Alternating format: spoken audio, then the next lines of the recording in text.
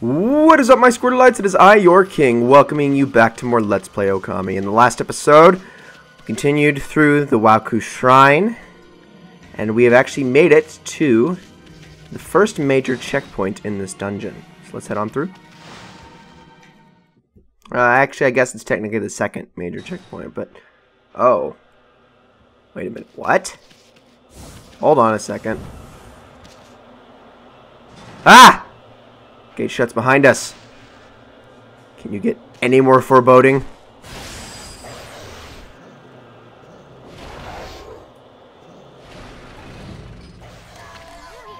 Look who's here. This guy doesn't waste any time. I like his style.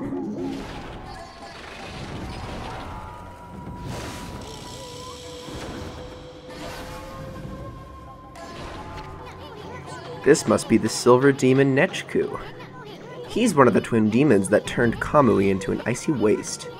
What luck finding him alone? Sorry, fella. I know you just recently woke from a long slumber, but you're gonna have to go back to being a statue again.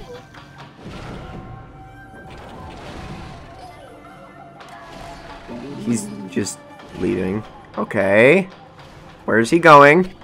Yeah. Wait, what?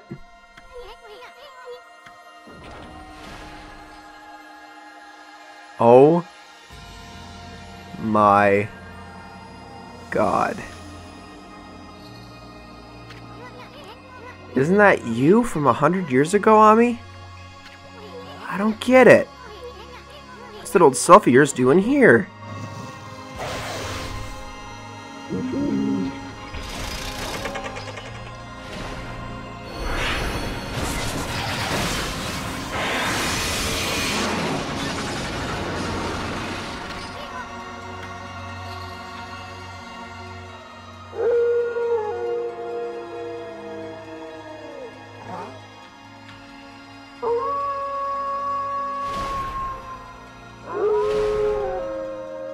And let's begin one of the coolest fights in this entire freaking game.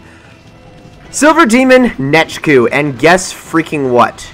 We have Shiranui on our side, and this fight is freaking awesome. So, I'm to see if I can show this really quickly. If I bring up my brush screen, and usually he's pretty immediate about it. Oh, well, there's that sub-reflector right there of his. Freaking, freaking powerful. Let's see if I can get him to do a brush technique here. Alright, come on, Shiranui. I know you can do it. I know you can do it. I want to show these. These are so awesome. Come on now. There we go. That's what I like to see. That's right. This regular Gale Storm is more like a freaking tornado. It's Cherry Bomb, uh, more like Cherry Nuke. and let's see. Does he have a Power Slash? Ah, he does.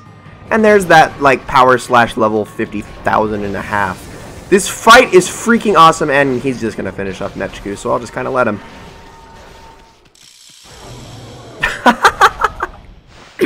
Shiranui he's a little bit OP, guys. A little bit OP. I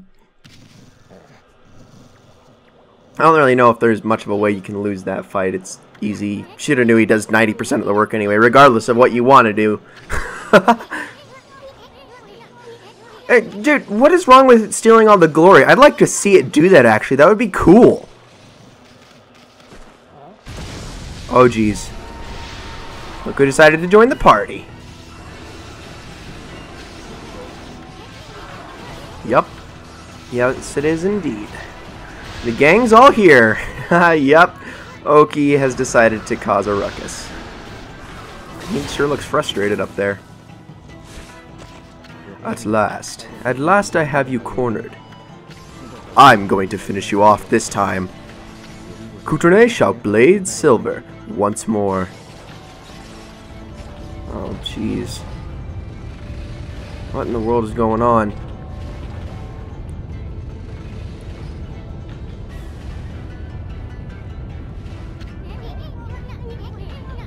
No, they ain't. Oh, Oki, don't do it. Don't do it. Don't do it, please. This is what separates a hero from the rest. You are about to witness history in the making. Kutone, trusty sword of the great hero Oki, shall awake.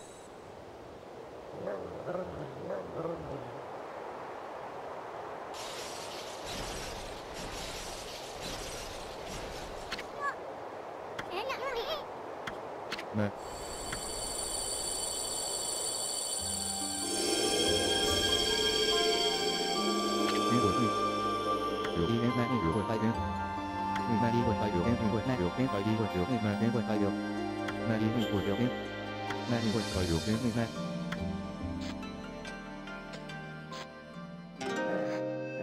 我在一九年内我在有权利奈我天海奈敌我在有权利奈我敌海有权利奈我有权利内奈我有海敌奈我海敌奈有我敌海奈有权我海敌奈有权利我奈海敌有奈我有海敌奈我海敌有我奈海敌有奈我天海敌有奈我海敌有我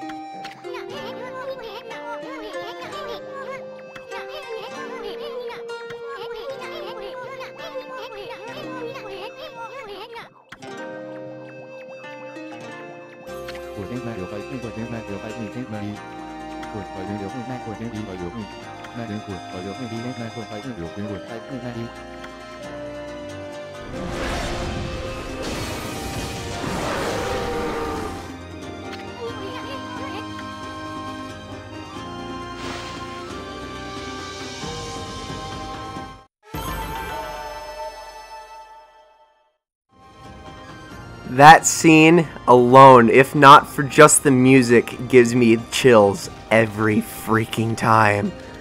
Oh. Just take a listen to this song for a little bit.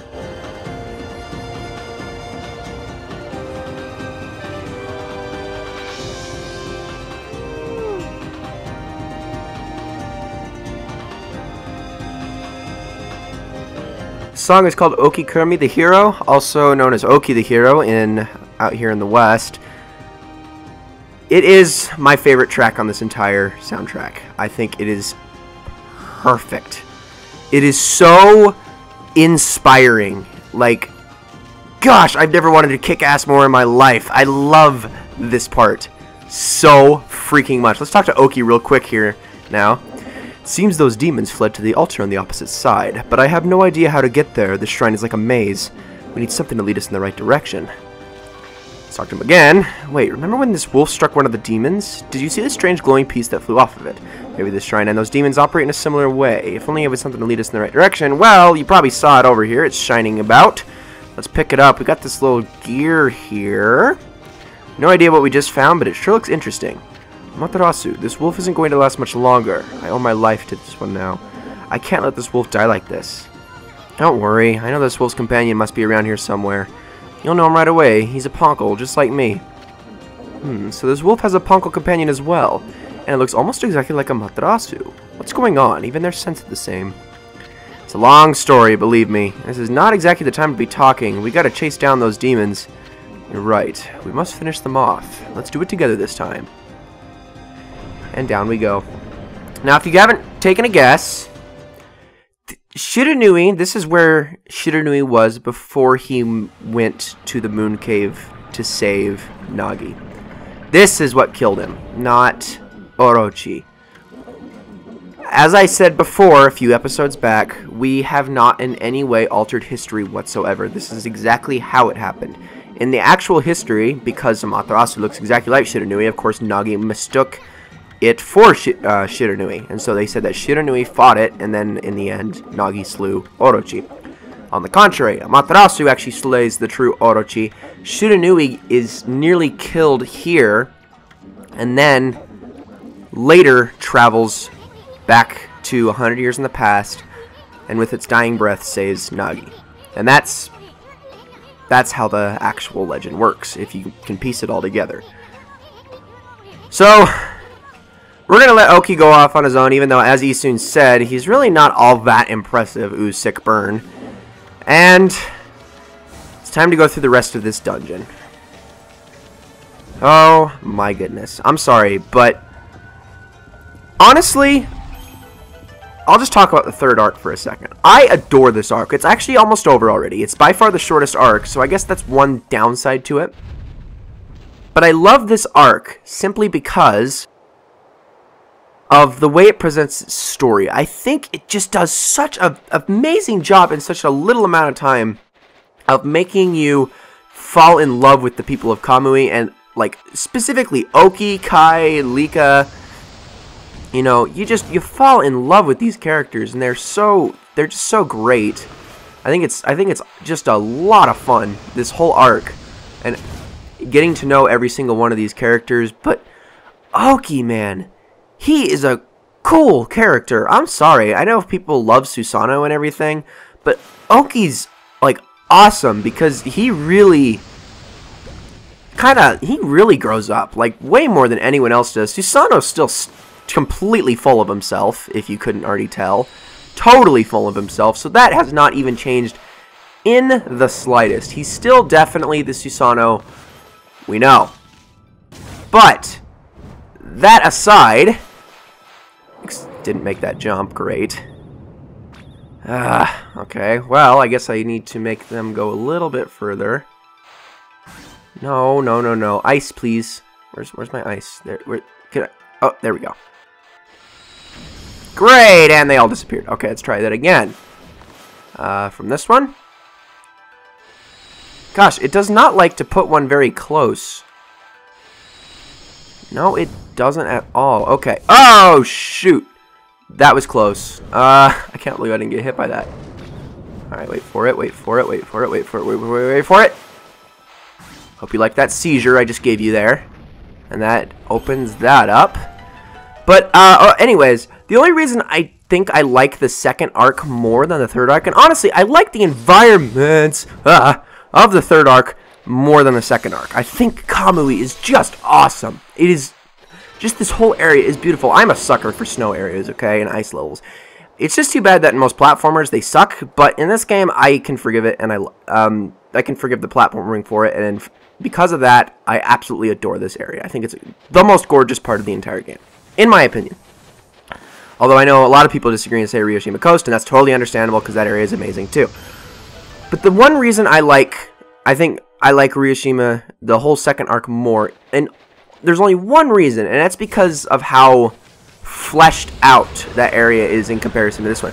While the story here is overall more amazing, I think it suffers from two things. One, the fact that it's shorter, and two, the fact that, and oh, by the way, yes, this full finisher's ice, but I think I just screwed it up. Yes, I did.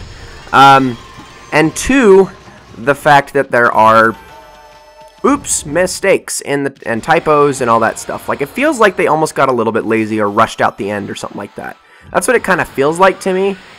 But, you know, other than that, ah, this area is just perfect. It really is. I adore this this whole part of the game. I think it's just the most amazing and fantastic part. And I just really wish that I could push this ball with the wind. But more than that, I just really... Why the hell can I not push this thing? I seriously cannot push this ball. Okay. Like, it will not move. Okay, hold on. Hold on. It's like it's blowing the other the wrong way though. There we go. Okay, that at least did something with it. Come on, you can come out. There you go. And you're probably going to go over the edge, but that's okay, because you'll just respawn right there and go off the edge again. Okay. Anyways. And yeah, okay. And the last thing I want to say is just... It only picks up from here. Like, it gets better, too. The story of this game. It just gets better. Like, the ending of this I, I can promise you it's not going to go where you think it goes.